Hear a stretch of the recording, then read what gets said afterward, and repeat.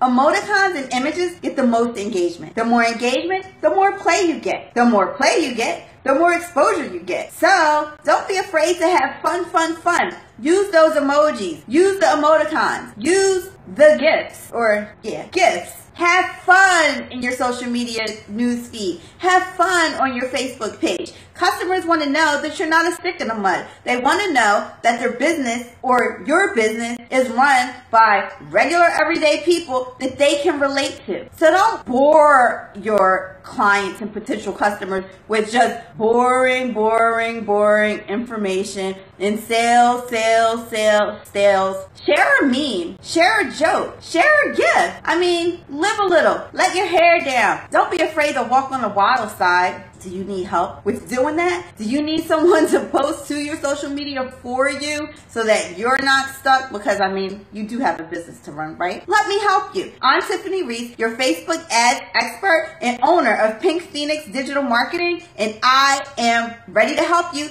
Give me a call. Looking forward to hearing from you soon. It's a wrap.